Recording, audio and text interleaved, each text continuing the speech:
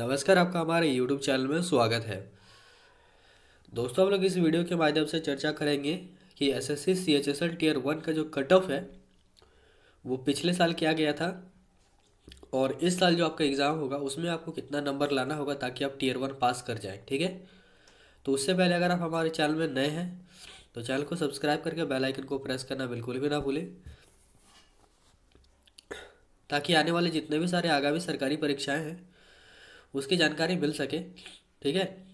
और साथ ही साथ मैंने इस वीडियो के इस चैनल में, अगर आप प्लेलिस्ट में जाएँगे या वीडियो के डिस्क्रिप्शन में जाएँ तो आपको टॉप हंड्रेड जीके का टोटल ग्यारह वीडियो, यानी ग्यारह सौ क्वेश्चन मिलेगा। प्रत्येक वीडियो में सौ क्वेश्चन है, वो आप देख लें, जो आपके परीक्षाओं में काम आएँगे। उसके अलावा टॉप हंड्रेड इंग्लिश वर्ड का टोटल दस वीडियो, यानी एक हज़ार इंग्लिश वर्ड है, ये भी आपका एसएससी बैंकिंग में काम आएगा तो ज़रूर देखें। तो देखिए, यहाँ जो लिखा है, उसे हम लोग पढ़ते हैं और उसे समझते हैं। S S C H S L tier one cut off दो हज़ार इक्कीस किया गया था। देखिए तो ये जो मैं आपको बता रहा हूँ, ठीक है, ये आपका कैरियर पावर से मैं बता रहा हूँ, ठीक है? और अभी एस एस सी का फॉर्म फिलअप होना स्टार्ट हो गया। अगर आप नहीं भरे हैं तो भर ले। जो भी प्रोसेस है, वो मैंने अपने वीडियो में बताया हुआ है, उसका वीडियो मैंने डाल दिया है। तो वीडियो को ज़रूर देखें, ठीक है? आप गवर्नमेंट प्लेलिस्ट में जाएँगे प्लेलिस्ट में जाने के बाद गवर्नमेंट जॉब के सेक्शन में जाएँगे, वहाँ पे आपको S S C H S L का फॉर्म कैसे भरना है, वो मैंने बताया हुआ है तो ज़रूर देखें। यहाँ पे लिखा हुआ है let have a look at the S S C C H S L two thousand twenty one tier one cut off off for the post of L D C यानी लोअर डिवीज़न क्लर्क ठीक है J S A and P A and S A which has been release officially by SSC SSC के द्वारा release कर दिया गया था।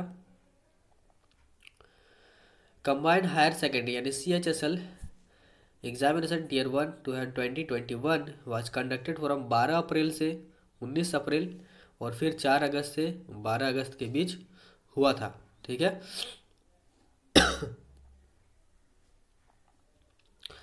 और यहाँ पे देखिए, यहाँ पे आप कट ऑफ़ देख सकते हैं, ठीक है? तो टीयर वन का जो कट ऑफ़ गया था वो कैटेगरी वाइज देखें तो अनरिजर्व्ड कैटेगरी के लिए जो कट ऑफ़ गया था वो आपका टीयर वन के लिए वो एक सौ चौदह दशमलव आठ आठ आठ आठ चार गया था। एस सी कैटेगरी का देखें तो एक सौ चौदह दशमलव एक छः तीन ज़ीरो एक गया था। एस टी का देखें तो एक सौ आठ दशमलव आठ आठ पाँच छः तीन गया था। ओ बी सी का देखें तो आपका एक सौ उनचालीस दशमलव चार छः तीन दो चार गया था। और ई डब्ल्यू एस का देखें तो एक सौ सत्रह दशमलव पाँच नौ नौ तीन गया था। ठीक है? लेकिन मैं आपको इसमें एक जानकारी दे दूँ कि हर साल का कट ऑफ़ बहुत ही ज़्यादा डिफरेंस रहता है, ठीक है? बहुत ही ज़्यादा। तो पिछले साल से भी अगर उसके पिछले साल, यानी 2019 का कट ऑफ़ देखें तो उसमें जो कट ऑफ़ गया था, वो थोड़ा सा ज़्यादा रहा था, लेकिन इस साल पिछले साल का जो कट ऑफ़ गया था, वो उससे थोड़ा सा कम रहा था। तो 2019 का और 2020 का कट ऑफ़ का तुलना करें तो आप देख सकते हैं, जो मैंने पहले बताया था, वो 2020 का कट ऑफ़ बताया। 2020 इक्कीस का, लेकिन ये जो मैं आपको बता रहा हूँ, ये 2019 का बता रहा हूँ। तो 2019 में जो टीयर वन का जो कट ऑफ़ गया था, वो आप देख सकते हैं कितना हाई गया था थोड़ा सा। आप कट ऑफ़ देख सकते हैं अनरिजर्व कैटेगरी के लिए one five nine point five two गया था। एस सी कैटेगरी के लिए एक सौ छत्तीस पॉइंट वन ज़ीरो गया था। एस टी के लिए एक सौ सत्ताईस पॉइंट बत्तीस गया था। ओबीसी के लिए एक गया था। ई के लिए एक सौ उनचास पॉइंट नाइन एट गया था ई एस एम के लिए, एटी सेवन ओ एच के लिए इतना एच एच के लिए इतना गया था और वी आई के लिए इतना गया था। इस तरह से पी डब्ल्यू डी के लिए भी देख सकते हैं। तो इस तरह से हर बार जो है कट ऑफ़ जो जाता है वो बहुत ही ज़्यादा डिफरेंस रहता है। तो आप ये मत सोचें कि आप अगर कम से कम नंबर लाएँगे तो आपका टीयर वन क्वालिफाई हो जाएगा, क्योंकि कट ऑफ़ कभी भी जो है जंप कर सकता है और अलग अलग आ सकता है। तो अभी मैं बता दूँ कि सी एच एस एल का जो टोटल सौ क्वेश्चन रहता है, और टोटल दो सौ मार्क्स का रहता है, एक क्वेश्चन दो नंबर का होता है, ठीक है? तो आप किसी भी कैटेगरी से बिलोंग बिलोंग करते हो, आप मिनिमम यानी कम से कम 200 में से 150 नंबर लाने का कोशिश करें 150 नंबर लाने का क्वेश्चन प्रयास करें। 150 नंबर आप तभी ला पाएँगे जब आप 75 क्वेश्चन सही करेंगे, ठीक है? एक्यूरेसी के साथ 100 परसेंट एक्यूरेसी के साथ अगर 75 क्वेश्चन सही करते हैं, यानी पचहत्तर क्वेश्चन सही होता है, तभी आपका एक सौ पचास नंबर आएगा, ठीक है?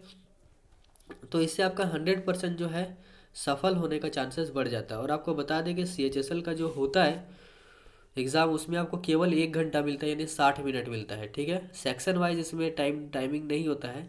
चार सेक्शन से क्वेश्चन पूछा जाता है, जैसे कि पहला सेक्शन में मैथ रहेगा, दूसरा सेक्शन में इंग्लिश तीसरा सेक्शन में रीजनिंग और चौथा सेक्शन में जी के जी एस करेंट अफेयर तो इन चारों सेक्शन में पच्चीस पच्चीस क्वेश्चन रहेगा टोटल सौ क्वेश्चन रहेगा, एक घंटा का समय मिलेगा और आपको ये सारा क्वेश्चन बनाना होता है. तो ज़्यादा से ज़्यादा क्वेश्चन सॉल्व करें, तभी आप जो है टीयर वन क्वालिफाई कर पाएँगे, उसका डिस्क्रिप्टिव पेपर आपको देना होता है, ठीक है? तो जो भी था इस वीडियो के माध्यम से मैंने कट ऑफ़ मैंने बता दिया और कट ऑफ़ आपको नंबर कितना लाना है दो सौ में से वो भी मैंने बता दिया। ज़्यादा से ज़्यादा अंक लाए ताकि आपका टीयर वन क्लियर हो जाए, ठीक है? दो, दोस्तों दोबारा मैं बताना चाहूँगा, अगर आप हमारे चैनल में पहली बार विज़िट कर रहे हैं तो चैनल को ज़रूर से ज़रूर सब्सक्राइब कर लें ताकि महत्वपूर्ण जितने भी सारी जानकारी आती है वो मिल सके। साथ ही अपने दोस्तों को भी शेयर कर सकते हैं, ठीक है? यहीं पे अपने वीडियो को समाप्त करता हूँ। आप सभी का बहुत बहुत धन्यवाद।